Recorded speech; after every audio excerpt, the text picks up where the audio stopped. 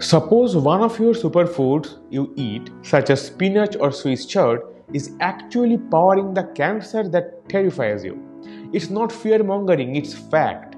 You exercise, you eat well, and you take your tests seriously.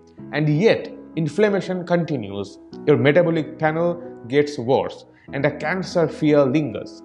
Here is what nearly no one tells you oxalates, the chemicals in greens, nuts, and grains, can damage your gut and kidney, lead to oxidative stress, and promote cancer.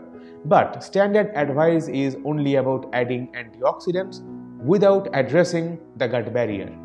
The mainstream promotes eat your veggies for fiber and cancer protection. That's just half the story.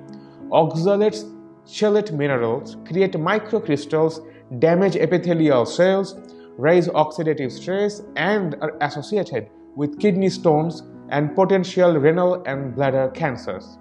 We do not have to minimize all plants. Rather, we need to modify our exposure to match with ancient habits and current science. Adequate food preparation can safeguard your gut barrier and limit oxalate consumption. The following are three simple steps to take back your health starting today. 1. Detox your greens.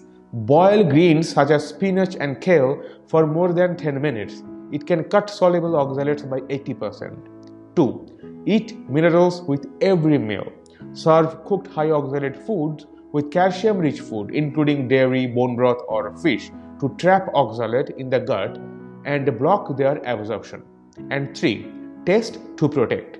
Have an annual urinary oxalate test. If you're high, it's a red flag. It's time to switch your diet before damage does get a foothold. Moreover, hydrate and add probiotics to get oxalates naturally broken down by gut flora. It's not only what you eat, it's how it affects your gut. Preserve the lining, decrease the stress, and shape your destiny. This information could be a lifeline if it offered clarity for you or could guide someone facing the anxiety of inflammation and cancer. Pass it on.